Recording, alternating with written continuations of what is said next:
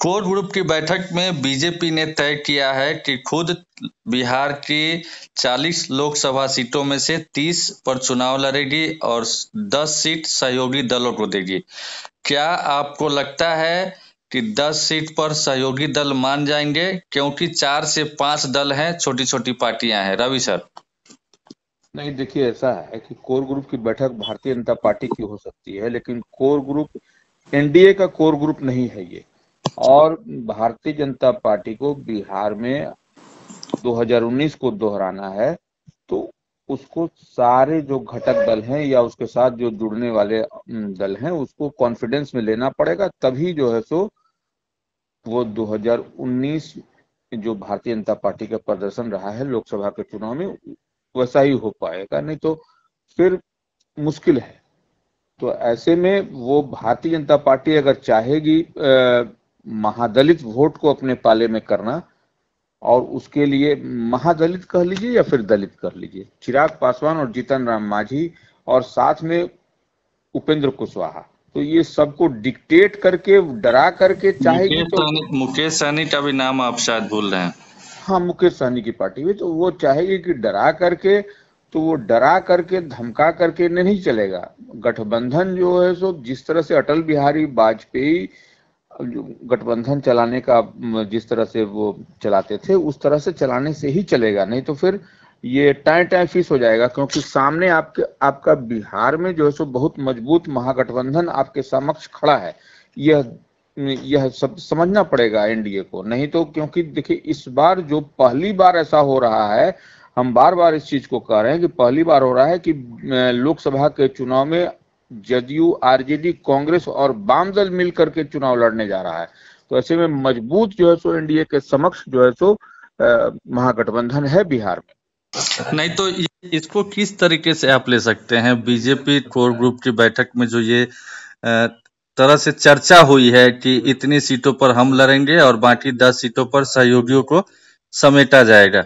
तो क्या ये प्रैक्टिकल लगता है? देखिए सब दल चाहते हैं कि ज़्यादा से ज़्यादा सीटों पर लड़े। कुल मिलाकर के ये 2014 का जो फॉर्मूला है वही अपनाने जा रही है बीजेपी जो अब तक लग रहा है। लेकिन क्या ये एक तरीके से फरमान नहीं लगता है जो कि एक्सेप्ट करेगी सहयोगी दल करेगा? देखिए कोई करे ना करे लेकिन चिराग पासवान नहीं करेंगे। चिराग पासवान जो जितने मज़बूत नहीं हम चिराग पासवान पे जाएँगे इसके बाद जाएँगे। पहले ये बताइए कोई कैसे कर लेगा मुकेश सहनी जो जिन्हें तीन लोकसभा की सीटें मुजफ्फरपुर खगड़िया और मधुबनी मिली थी महागठबंधन में 2019 में क्या वो एक सीट के लिए तैयार हो जाएँगे? जीतन राम मांझी की पार्टी जो कि पाँच लोकसभा की सीट डिमांड कर रही थी क्या वो एक सीट पर राज़ी हो जाएगी? जो कि मांझी भी एक सीट पर राज़ी नहीं होंगे। और देखिए कोई इस तरह से को, कोई इतना क्यों सेक्रीफाइस करेगा? काहे के लिए करेगा? माने ये हम चिराग पासवान की कह लीजिए या पशुपति पारस की भी कह लीजिए पशुपति पारस भी जो उनको तीन सीट देने की बात चल रही है।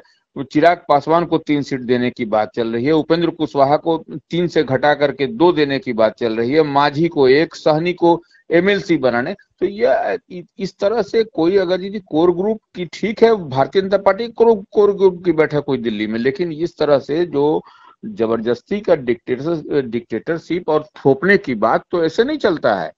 ऐसे ऐसे थोड़ी चलेगा और, और सब देखिएगा कोई तैयार नहीं होगा और अल्टीमेटली ये विद्रोह हो जाएगा। और इस तरह से जिस तरह से बात छन करके आ रही है ऐसा तो लग रहा है कि चिराग पासवान महागठबंधन में कहीं न चले जाए जो तो, जो आशंका और शंका जताई जा रही थी पहले से।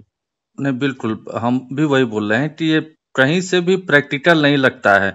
और अगर बीजेपी इसके लिए ये सोच समझ करके बैठी हुई है कि चूँकि माझी का महागठबंधन का दरवाज़ा बंद हो चुका है। मुकेश सहनी भी बंगला खाली कर चुके हैं तो फिर वो भी महागठबंधन में नहीं जा सकते हैं। उपेंद्र कुशवाहा भी जेडीयू से अलग हुए हैं तो उनके लिए भी कोई ऑप्शन नहीं बचता है बीजेपी के अलावा। चिराग पासवान नीतीश से खार खाए हुए हैं तो उनके लिए भी महागठबंधन से में रास्ता नहीं बचता है। इसीलिए हम जैसा चाहेंगे वैसा ही ये लोग करेंगे। तो ऐसा प्रैक्टिकल मुझे तो नहीं लगता है। आपको क्या लगता है, सर? नहीं नहीं, वैसा भी नहीं है। देखिए इस तरह की बात नहीं चिराग पासवान का ठीक है, नीतीश कुमार से खार खाए हुए हैं। लेकिन वो तेजस्वी प्रसाद यादव से उनकी बहुत अच्छी है। लालू प्रसाद यादव को अपना वो पिता तुल और गार्जियन मानते हैं, अभिभावक कहते हैं वो। और तो ऐसे में वहाँ पर महागठबंधन में लालू प्रसाद यादव जब हैं तो चिराग पासवान जितनी सीट मांगेंगे उतनी सीट उनको कंफर्टेबली वहाँ पर मिल जाएगा। उसमें कहीं कोई दिक्कत नहीं है। और और मुझे भी मुझे भी सर ये लग रहा है कि चूँकि जीतन राम मांझी अब महागठबंधन से बाहर निकल गए हैं। तो दलित का नेता भी चिराग पासवान कहा जा रहा है कि एनडीए के पार्ट हो सकते हैं और मांझी भी एनडीए में जाने की खबरें हैं। ऐसे में मुझे लगता है कि अगर चिराग पासवान की शर्तें नहीं मानी गई या चिराग पासवान पर अपनी शर्तें थोपी गई बीजेपी की तरफ़ से तो बहुत मुमकिन है कि एक दलित का बड़ा चेहरा को लाने के लिए महागठबंधन में जो कि फ़िलहाल खाली है वैकेंट है दलित के लिए। तो वहाँ पर चिराग पासवान से सारे गिले शिकवे भुलाकर नीतीश कुमार भी उन्हें चूँकि बीजेपी को हराना है तो नीतीश कुमार भी कॉम्प्रोमाइज कर सकते हैं और तेजस्वी यादव से तो कहा जाता है कि उनकी बातचीत भी होती रही है और इफ्तार पार्टी में जो बॉन्डिंग दिखी थी वो सब ज़ाहिर है। देखिए किसी दिन जो है सो वह बगावती तेवर में आ सकते हैं चिराग पासवान इसमें कहीं कोई दो मत नहीं अगर यदि इस तरह का जबरन थोपा जाएगा उन पर या उन्हीं पर नहीं उपेंद्र कुशवाहा पर भी देखिए ये किसी को ये कोई मान लेता है कि उनकी जो है सो महागठबंधन से अलग हो गई है और वो महागठबंधन छोड़ करके इधर चले आए हैं। तो ऐसी बात देखिए पॉलिटिक्स में राजनीति तो यही है कि वो गणित होता, होता है यहाँ पर। तो यहाँ पर जो भी संख्या बल दिखाएगा जो भी जो समझ रहा है कि उपेंद्र कुशवाहा अब जैसे कुशवाहा का वोट भी इधर सुधर हो सकता है। ये ये कोई नहीं समझता। चिराग पासवान तो किसी दिन अगर यदि उनको लगा तो वो वो बगावत तेवर में आ सकते हैं। ये महँगा पड़ जाएगा एनडीए को। एनडीए फोल्ड को महँगा नहीं पड़ तो जाएगा। ऐसे में तो हम एक लाइन में कहा जाए थोड़ा सा कड़ा शब्द होगा लेकिन ये हो सकता है कि ये बीजेपी के लिए आत्मघाती कदम हो जाए। निश्चित रूप से देखिए बिहार में तो उसको मैं बहुत फूक फूक के कदम रखना पड़ेगा। हमको नहीं लगता है कि इस तरह से कोर कमेटी में जबरन थोपने की बात आई है और इन लोगों को फ्लेक्सिबल होना पड़ेगा। ये जो तीस सीट अपने लड़ने की बात कर रहे हैं, भारतीय जनता पार्टी का कोर नेतृत्व कि बिहार में लड़ेंगे तो नहीं होगा। उसमें उनको फ्लेक्सिबल होना पड़ेगा, उनको 25 सीट कम से कम लड़े 28 सीट पर लड़े, कुछ बड़ा और उदार दिल दिखाए, तभी जो है सो यहाँ पर वो महागठबंधन से मुकाबला कर सकेंगे। नहीं तो लोकसभा चुनाव में जिस तरह से जितनी मजबूती के साथ महागठबंधन चल रहा है तो ऐसे में उनको भारतीय जनता पार्टी कह लीजिए, एनडीए कह लीजिए, बिहार में उसको बहुत कठिन चुनौती का सामना करना पड़ेगा। छुट्टी देख लीजिए, एक और आंकड़ा है हमारे पास कि 2014 में बीजेपी को 30 परसेंट वोट आया था और सीटें, बीजेपी के सहयोगी दलों ने अच्छी खासी गेन की थी। लेकिन अब बीजेपी को और छोड़ दिया जाए तो रेस्ट 70 परसेंट तो उधर है, बाकी 70 परसेंट में से माझी सहनी, चिराग पासवान, उपेंद्र कुशवाहा, इन सबको पाटने की कोशिश हो रही है कि कुछ परसेंट वोट हमारे पास आ जाए।